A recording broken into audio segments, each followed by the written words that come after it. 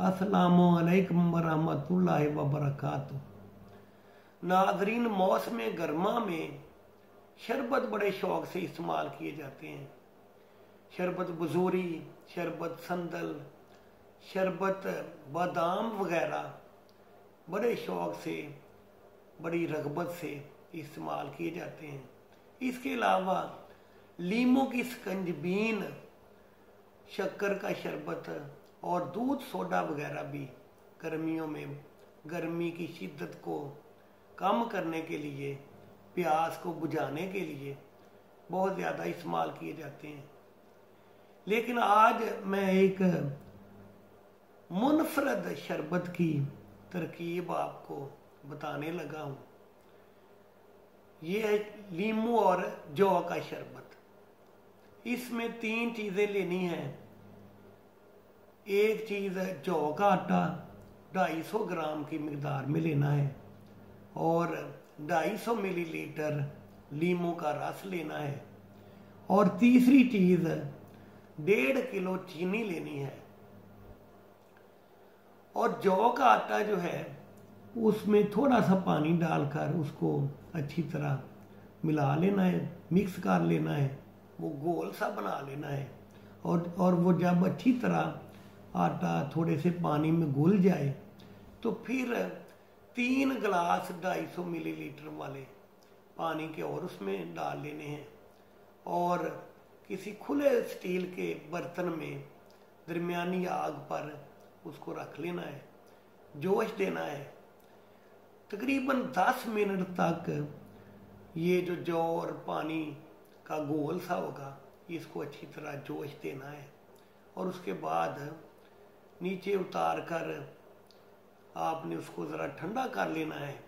और ठंडा करके किसी जालीदार बरीक कपड़े में उसको छान लेना है। और जब जालीदार बरीक कपड़े में छान छान लेना है तो छानने के बाद फिर दोबारा कदरे मोटे कपड़े में, यानी पहले की नस्बत ज़रा मोटे कपड़े में उसको दोबारा से छान लेना है। और उस छने हुए पानी को दोबारा वो स्टील का जो बर्तन होगा उसको धोकर उसमें ये जौ का जो पानी है, इसको डाल लेना है। और 250 मिलीलीटर लीमू का रस जो है, वो भी उसमें डाल लेना है। और डेढ़ किलो चीनी भी डाल लेनी है और फिर दोबारा उसको आग पर रखना है। और चम्मच से उसको किसी बड़े चम्मच से जिसकी वो मुट्ठी लकड़ी की बनी हो या प्लास्टिक की बनी हो, ताकि वो जिस वो हाथ को गर्म ना महसूस हो उससे उस चम्मच उस चम्मच से उसको आपने हिलाते रहना है शरबत को और देखते रहना है कि उसका कवाम बन गया है या नहीं बना। तकरीबन 10-12 मिनट बाद या 15 मिनट के करीब वो शरबत जो है, वो तकरीबन उसका कवाम तैयार हो जाएगा। पता कैसे चलेगा? वो शरबत का कि वो बन गया है या अभी उसके बनने में कुछ कसर बाकी है। तो वो तरीका सब शरबतों का एक ही होता है कि वो मामूली सा शरबत चम्मच से निकाल कर आपने किसी गत्ते के ऊपर या स्टील के किसी किसी स्टील की प्लेट के ऊपर एक दो कतरे शरबत के आहिस्ता से गिराने हैं।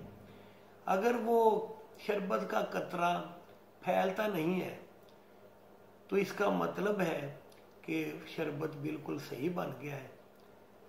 और दूसरा तरीका शरबत के कवाम बनने का, वो कवाम बनने का, उसका अंदाज़ा लगाना या उसकी वो जाँच करना, उसका दूसरा तरीका ये है कि आप मामूली मकदार में शरबत किसी चम्मच से निकाल कर उसको अंगूठे और साथ वाली उंगली से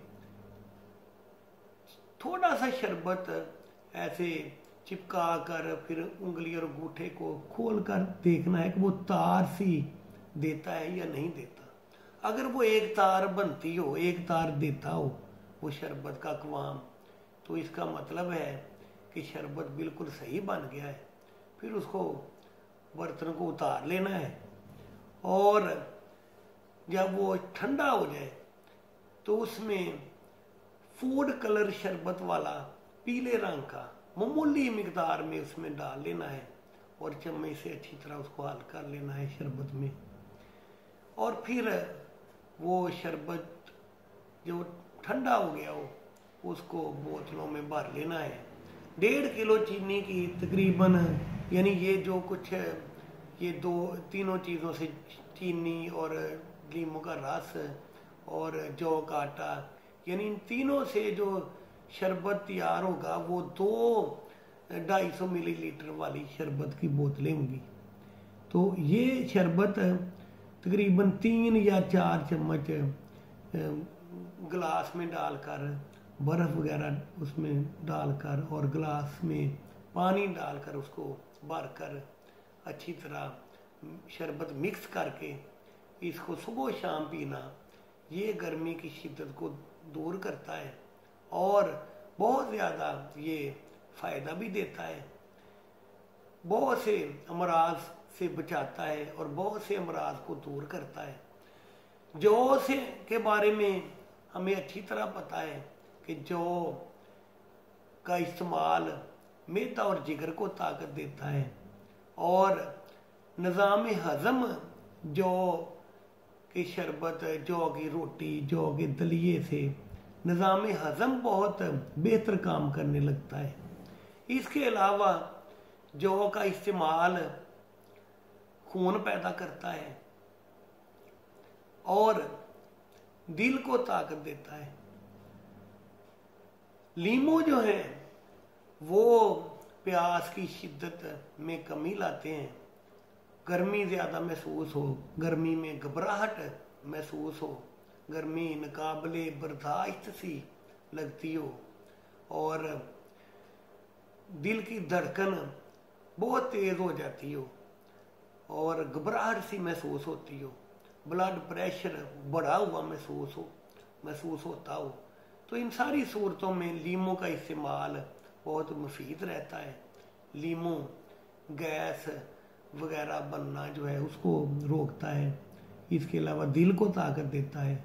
फरत बख्श है, इसका पीना दिल को ताकत देता है।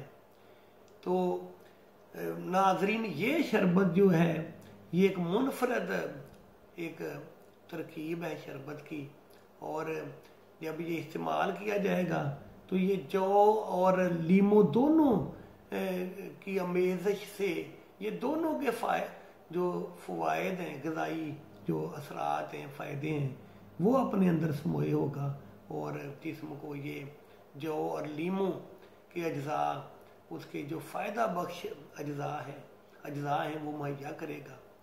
और गर्मी की शिद्दत से बचाएगा। गर्मियों में बड़ा एक ये अच्छा और और फरत बख्श और खुशगवार सा एक मशरूब होगा जो आप अगर बनाएँगे तो सारी गर्मियाँ आप इसको इस्तेमाल करेंगे, बड़े शौक से बनाएँगे, इस्तेमाल करेंगे। दूसरों को भी बताएँगे इसके फ़ायदे। नाजरीन, ये सिर्फ़ मौसम गर्मा के लिए ही मुफीद नहीं, बल्कि ये अगर यही शरबत अगर मौसम सरमा में भी बना लिया जाए तो ये यही फ़ायदे मौसम सरमा में भी देगा। और ये शरबत इस तरह का, ये एक मुनफरद शरबत है कि दूसरे शरबत जहाँ सर्दियों में जहाँ शरबतों का इस्तेमाल बंद कर दिया जाता है, वहाँ अगर इसको, इस शरबत को इस्तेमाल किया जाएगा तो ये बहुत ज़्यादा फ़ायदा देगा। सर्दियों में भी। और तकरीबन सारा साल ये चलने वाला, पिया जाने वाला, फ़ायदा देने वाला शरबत होगा तो नाजरीन, इसको आप बनाएँ और इससे फ़ायदा उठाएँ और इस चैनल को भी सब्सक्राइब करें ताकि अगली वीडियो भी आपको फौरी देखने को मिले।